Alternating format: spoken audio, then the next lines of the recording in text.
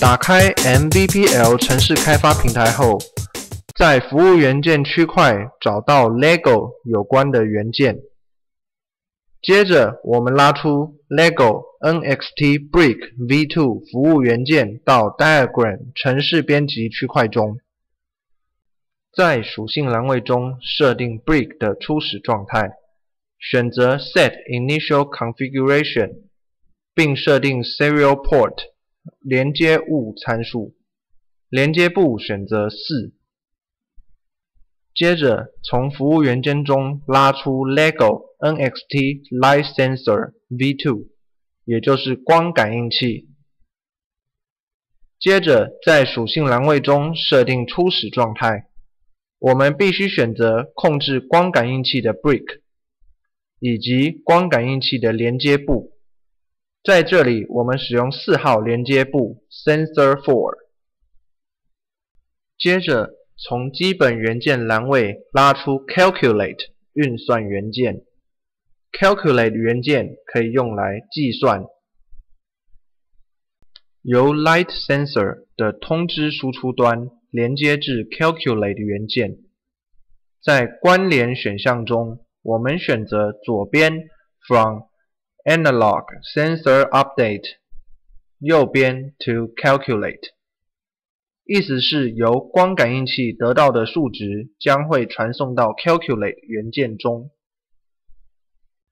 接着于 Calculate 元件中输入 Row Measurement 除以一百点零，意思是由光感应器得到的数值在 Calculate 元件中除以一百，这是因为我们要把量测到的光强度转换成马达的转动速度。而光感应器测得的数值是从零到一百，而马达的电力则是由一到负一，因此必须除以一百才能转换成马达电力的范围。接着从服务元件中拉出 LEGO NXT Motor V2 元件，也就是乐高马达。同样的。我们在属性栏位中设定初始状态，选择控制的 Brick 与马达的连接部 Motor Port。在这里，我们使用 Motor A 连接 Calculate 元件与马达元件。在关联选项中选择左边 From Calculated Result，右边。To set motor power，点选 OK 后，在 Target Power 栏位中选择 Value，意思是用计算得到的结果来设定马达的电力。接下来，我们要开启光感应器上面的灯泡，从基本元件栏位中拉出 Data 元件。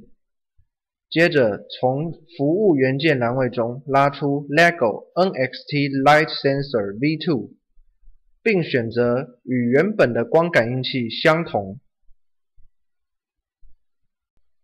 在 Data 元件中输入 True，并在资料类型 Type 选择 Bool 布林类型。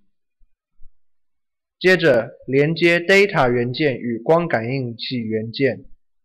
在关系选项栏位中，选择左边 From Data Value，右边 To Spotlight Update，点选 OK 后，在 IS On 栏位中选择 Value，意思是打开光感应器上面的灯泡。这样我们就完成了智慧型电风扇的程式编写。